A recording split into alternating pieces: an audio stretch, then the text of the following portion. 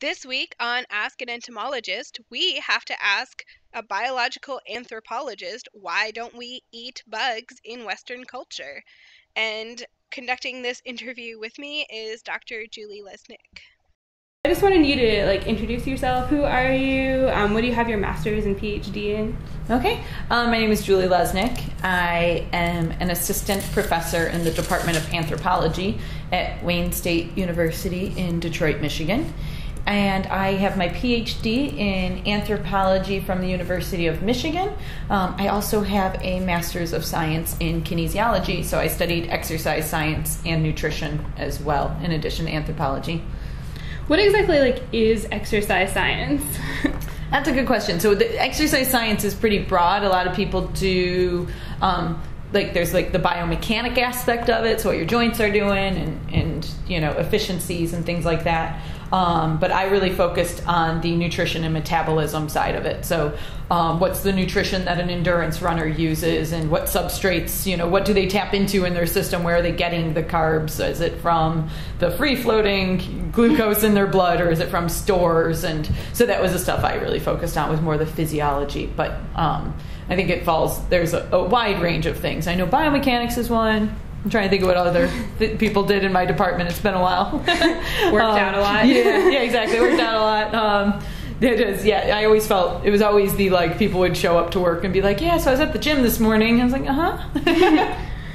so how did you get from like anthropology and basically nutrition to entomophagy? Yeah, so is it entomophagy or I think so. I actually this is funny because I read it, you know, yeah. more as a, and that's always a problem I think scientists have is that we re- read so, it, we yeah. read it and then we don't know how to say it. So I actually went on like the Webster's dictionary online and hit the mm-hmm. play where she says the word. So she said entomophagy, so okay. that's what I've been going with. Yeah, because it comes from Greek, so phagy is just like mouth yeah, eating. Yeah, so. and it's hard because yeah. like you know there's I would say geophagy if I was talking about people that eat soil, yeah, or something. Or but I but entomophagy. So it's all just where you put the. It, it depends on your prefix and where the and, and emphasis. The, yeah, and emphasis is on syllable of your prefix. Then changes how you sit, pronounce the suffix. It's very odd. So, so the Webster's dictionary, ladies, like entomophagy. excellent. um, so how did I get there? So yeah, I study so in anthropology, I study evolution of the human diet. So I got into um, my PhD program really wanting to kind of create the lifeways, like what early hominids were doing. Um, and I think it's the same in kind of like in being an entomologist, you might be somebody who's really interested in taxonomy, or you might be somebody who's really interested in behavior. And so it, it, falls that way with the fossil hominids too. Some people are really interested in determining how these fossil hominid species are related, and I really wanted to figure out what they did, how they lived. Yeah, how they lived. And so a big part of you know being a large ape in a savanna environment is how do you find food? What do you eat? And so um, so I decided that's where my you know my my research interests lied. And so then I got the kind of master's in kinesiology to make me understand human nutrition better. Because um, the other thing in studying human evolution is you have both the proximate and ultimate. So, like, the ultimate reason that we eat is so that, you know, we don't, don't die, die, out as a species. but the proximate reason you eat is the things I really learned in kind of the exercise physiology. So, like the, the hormone ghrelin sending the signal to your brain that it's time to eat. So, I knew I was a better understanding of all of evolution of why we eat by having kind of both that ultimate proximate. Um, and so that's where I came from. So then, like, okay, well, what were these Australopithecines eat eating? And so the best model for a large-bodied ape living nearly two million years ago is a large-bodied ape today that lives in its natural environment, not in not in a human society, but that you know needs to get food from the forest. And so chimpanzees, being small-brained, kind of like these early hominids were pretty small-brained, were the best model. And chimpanzees eat a pretty good amount of termites, and so I started reconstructing the termite portion of the hominid diet, and then all of a sudden started appreciating termite variability and and got here and here I am. Got more interested in insects than I ever thought possible. They're pretty interesting. Yeah, they're pretty interesting. So um, so that's how I got into that's how I got into insects, and then it just so happens that you know as I was, I guess I'd already finished my PhD. I got my PhD in 2011. and then it was in May of 2013 that the UN came out with their big statement on why we should really be looking at insects as a sustainable food source. Um, and so now all of a sudden I had all this knowledge that was useful to kind of promoting this food source. So that's how I got involved.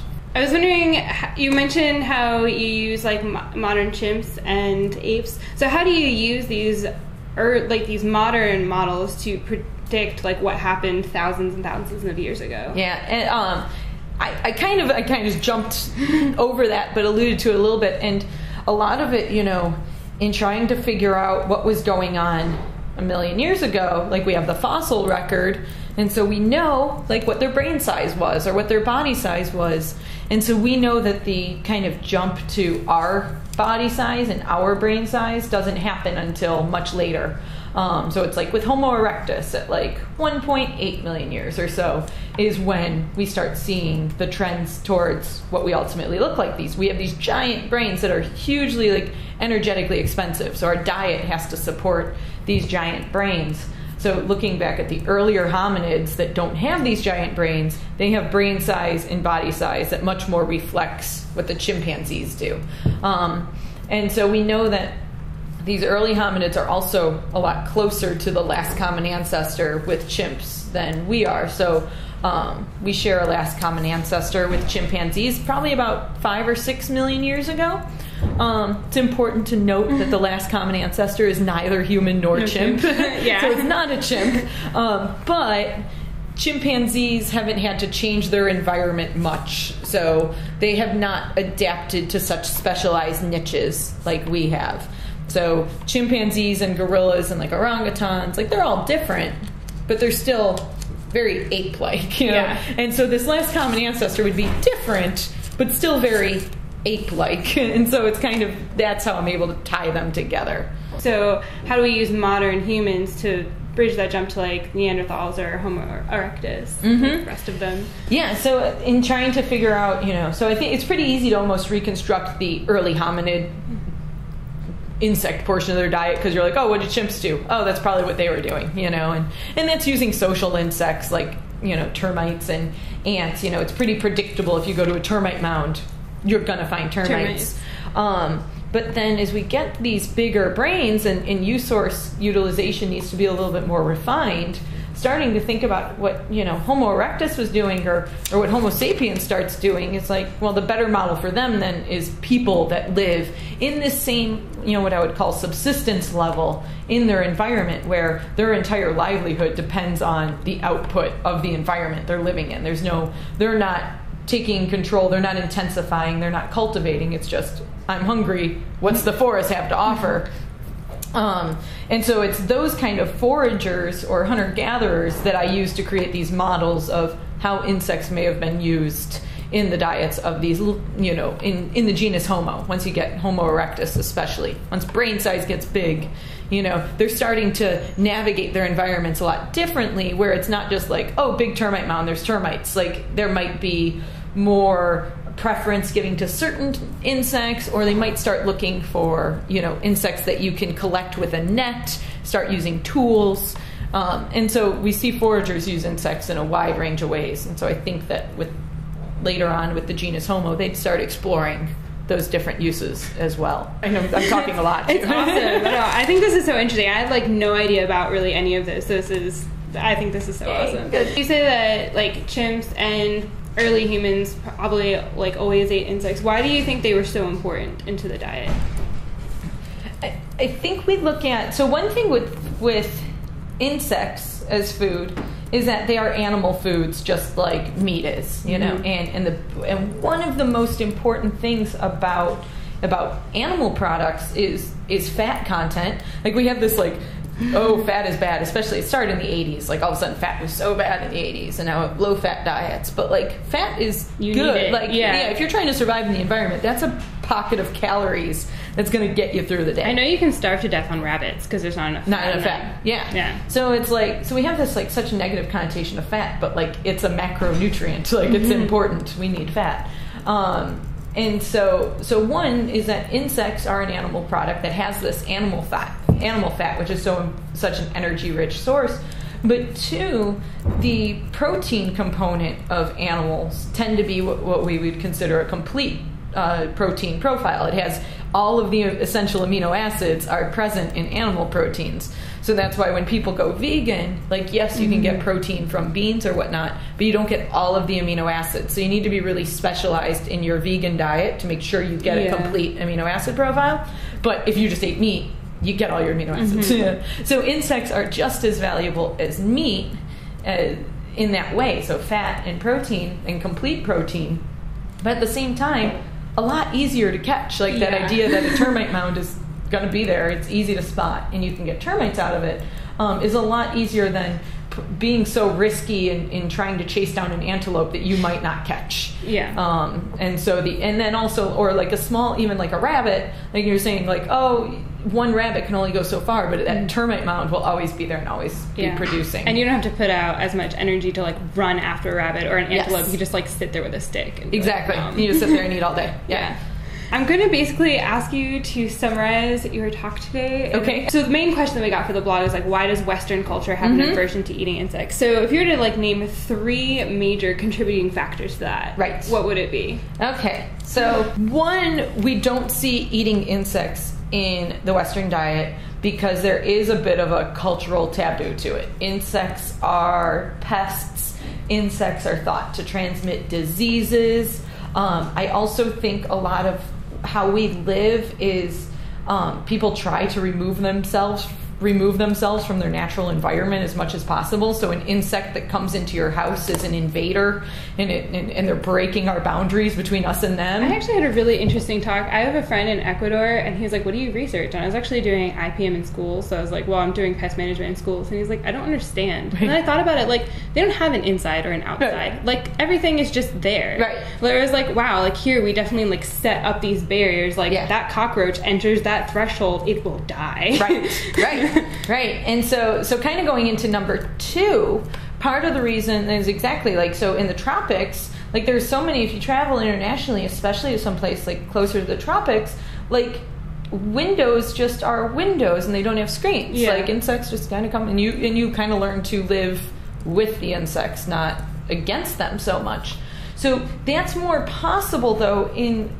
in the tropics than up here because one thing that we do the buildings we build create microhabitats Yeah. and so where i'm from is detroit and right now detroit's under a foot of snow I'm from Connecticut, I yeah. understand. yeah. So it's like you need the building to keep out the outside Mm-hmm. because we can't live in negative 10 degree weather. Like we need to create a microhabitat so our inside temperature is we even have a word for it room temperature everybody knows what room temperature is but it's completely socially constructed the Yeah. 70 degrees that we're comfortable in I never really thought about that, Yeah. but it's totally true. Yeah. Like everyone in the world knows what room temperature. Yes, and so it's so this idea of room temperature is really important to our survival in these northern latitudes, mm-hmm. and so insects become much more of a pest and and invasive in our homes when we need to have a temperature inside that's different than the outside in order to survive and be energy efficient and to be, do yeah, that. yeah, yeah. So to be able to, you know,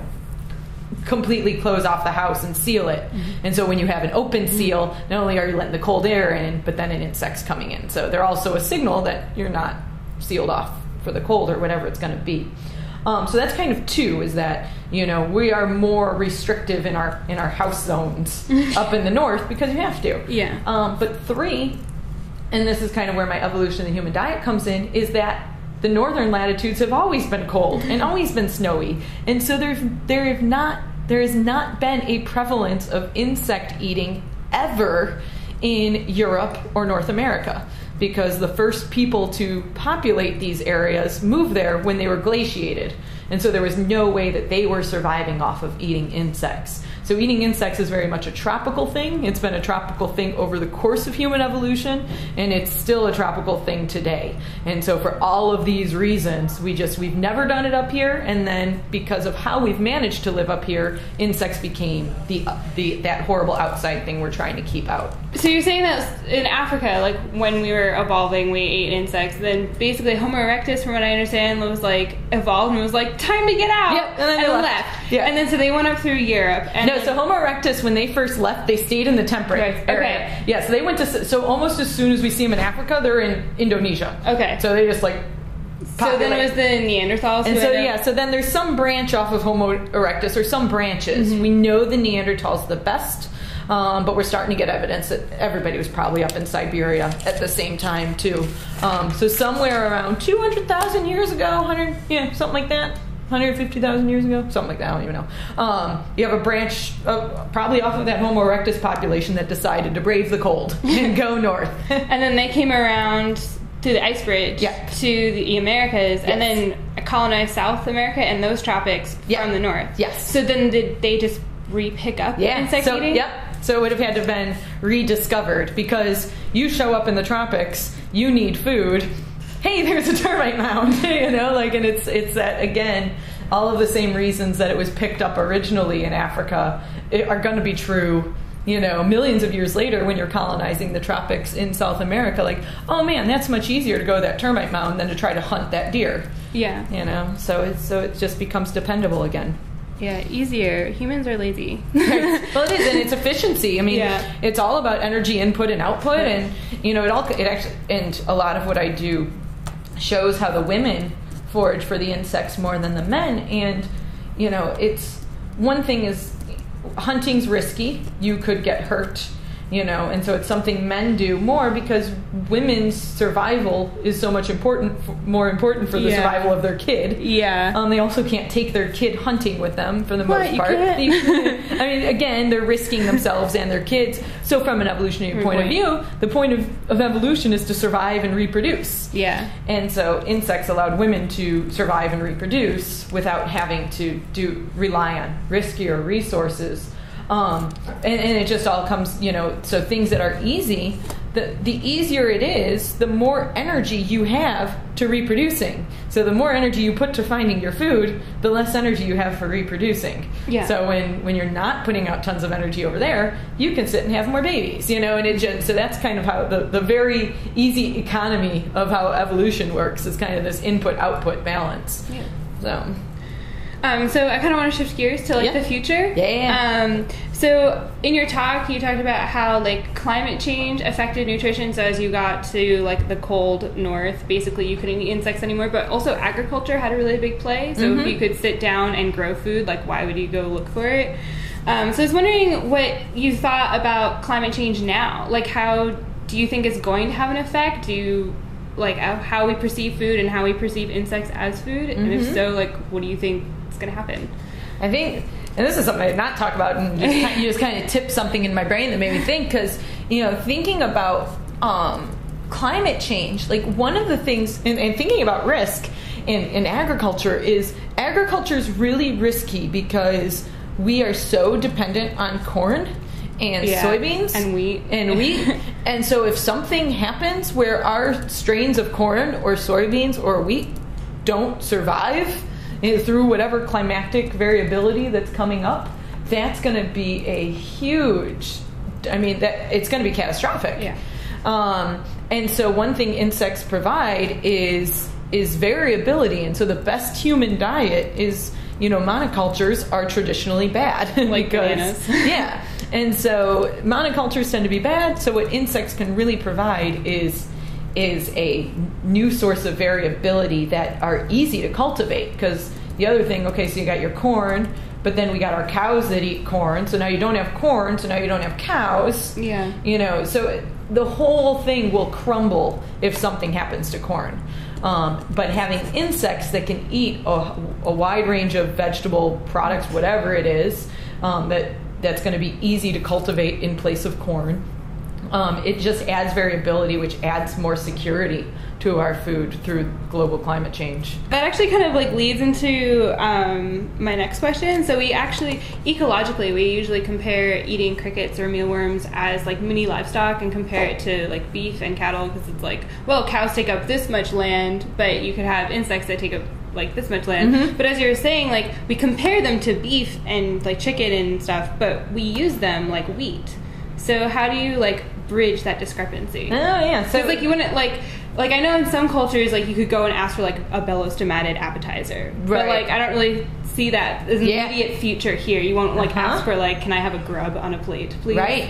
And I think that's that asks a really interesting question from an anthropology point of view, and it's how we perceive food.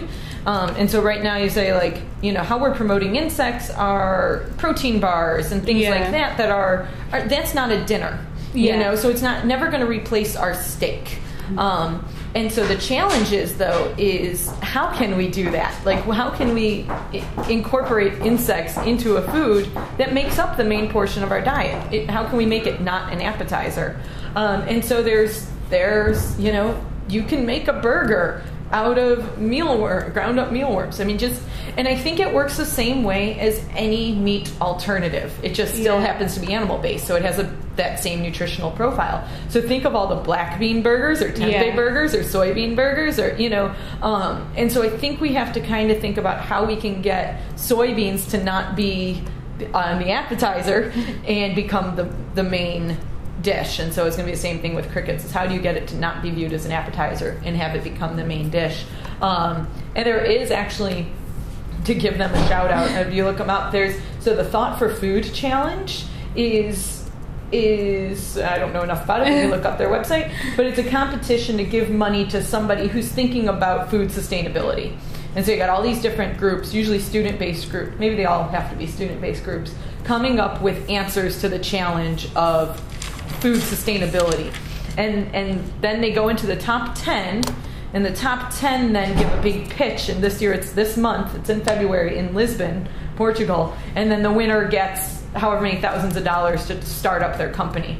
Oh, and cool. one of the top 10 is somebody their product is called Cfu, C-F-U. So, um, so C-FU, but they're playing off of tofu. But Yeah. what it is is it's a cricket-based protein that's that's more like meat. So it's bug meat, and, and it's served in in as a replacement for meat instead of these kind of supplements. Um, and so they're doing. So they've made the top ten. Who knows how far they'll go? Um, but they've got the attention of these thought for food people who are thinking about these food sustainabilities. So they are in that kind of transition of how to make it not just this side dish Yeah. and make it the main portion. I I actually have made like cricket brownies. Okay, So yeah. like um, one of Marianne's students uses crickets to make flour. Yeah. And he just like gave us the mix. So Nice. I, I actually made the cricket brownies. They're, Nice. they're pretty good actually. Did you cut it with a different flour? Did, did you, no, like, I just used used, it Nice. was it was already it was like in a bag and it was like a brownie mix. It was Oh, like add Okay. one egg and Gotcha. like yeah, so a little bit of water. Um, so talking about the future a little bit more, what do you think are three changes that have to happen for insects to be widely accepted in Western culture? There was a study that came out, and I, you know, it's just something I read online, but I think it was spot on because I really related to it. And it was this idea of who will eat insects, like who in the West will be the first ones to accept insects. And my joke, I always told people, I was like, you got to get to the hippies. You know, you got to get it at Whole Foods. Has always been what I've said over the years. But somebody came and, and they did a survey, and they, and they they broke that down to being a little bit more scientific than get the hippies. um, and they had said you have to have two of three things. And one is be an adventurous eater. Are you somebody who's going to try different foods, try different cultures' foods? Th- those people might be more interested in eating insects. The other one is do you not eat a lot of meat already? So if you are someone who eats meat every day, if you're someone who eats meat three times a day, you're probably not likely to give up that meat for insects. Um, so somebody who already does meatless Mondays or something like that, or already likes a tofu burger, like tofu occasionally, Or is Um, starving graduate or a starving graduate student can't pay the prices for you know for good beef or whatever. Um, but then three is somebody who bases their food choices on environmental reasons. Um, and so this is actually a lot of vegetarians. A lot of vegetarians are environmental vegetarians, not necessarily like animals have souls vegetarians, but um, but that because beef takes so much land, so much water, they don't eat they don't eat meat. So crickets being so much more sustainable in the amount of land and water they use to produce the same amount of protein um, is a is a very appealing choice to those people. So having two of those three, and so I find it funny because I'm a horribly picky eater. I am too. I, I didn't eat a vegetable until I was like 20. Yeah, no, I completely. and, uh, and so I am clearly though the I don't eat a lot of meat and I make my choices for environmental reasons. And so it's like, yep, got me you know but and when i first started this i didn't want to eat bugs like i had to eat Yeah. my advisor made me eat a termite because i was studying eating termites and i didn't want to and yeah, then i did Marianne keeps harassing me. She'd be like, "You have to eat it." So I like finally caved, like the cricket brownies. Yeah. And I was like, "Oh, I won't be able to see them," but the flour actually wasn't ground quite Perfectly. perfectly, so you could definitely see like a head and wing. I was like, "I'm just gonna do it," and I was like, "It was fine." Yeah. Like, um, so probably like hiding it too. Yes, helps. there's kind of different. There's almost like stages of introduction. Like you Yeah. start with the brownie, but then you can eat like sushi that might have a whole cricket in there, but you don't really see it. Mm-hmm. And then maybe you'll then go ahead and see the crickets just kind of tossed in a salad, Mm-hmm. and then maybe you'll start just eating a handful of crickets. You know, so it's kind of these stages of introduction for different people. It's kind of interesting that you mentioned sushi because like it used to be like it was kind of like this weird exotic thing that they did and then now people are really excited about it here.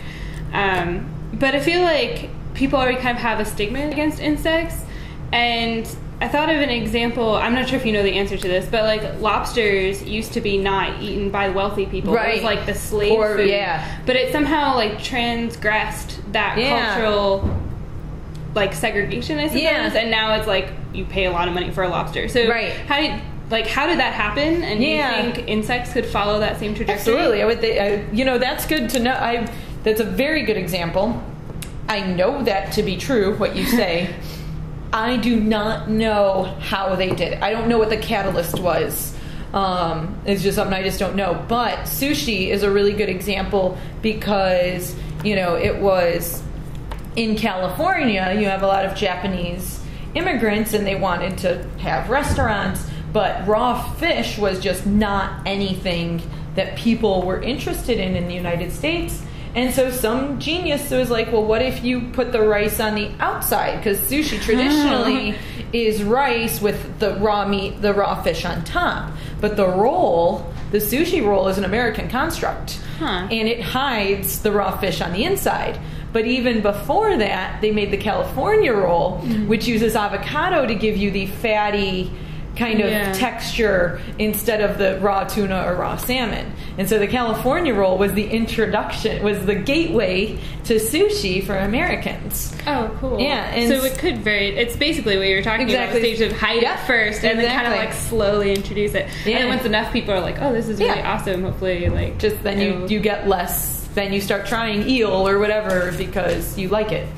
So you say that you're picky, and your advisor made you eat a termite once. is there any bug that you like to eat, and how do you like it prepared?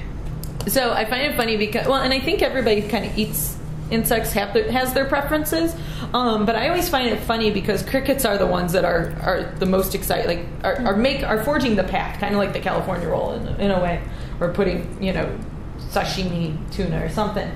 But um, I prefer mealworms over crickets. I think so. Crickets have kind of a um, if you've had any southeast, we're just southeast Asian cuisine. Dried shrimp is a is an ingredient in it a lot, and the smell of cricket flour is very much like the smell of the dried shrimp Ah. in these foods. Um, so it's pretty. It's kind of seafoody. It's got a it's got a pretty sense. strong scent to it. Um, yeah, exoskeletons and Yeah. I mean, it's the same thing. Um, but mealworms are just a lot nuttier to me. Um, so just a to- toasted mealworm, slightly seasoned, hand by the handful is my favorite. Cool. So great with beer. That is the perfect. like instead of bar peanuts, it should be bar toasted mealworms. Marianne says bar toasted crickets. Yeah. So you guys Yep. can. and I think she agrees. She likes crickets more Yeah. than mealworms. So we we disagree on our taste preferences. I think that was actually everything I wanted to ask because you kind of like you kind Covered of 'em. covered them, yeah, along the way. So All right. yeah, Good. That was awesome. Awesome. Thank you. Well, I hope that I feel like we, like I said, six million years of evolution is You'd like it's tough to cover in a short time. I'd like to thank Dr. Lesnick for doing this really fun interview and coming to UGA and talking to us about her research.